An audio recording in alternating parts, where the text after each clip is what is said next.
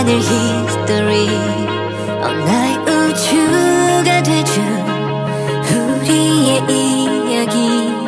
목적지 없이 흘러가는 저 소행성처럼 나도 그저 떠내려가고 있었어 어둠 속에 젖은 나의 모든 dream 새롭게 시작될 수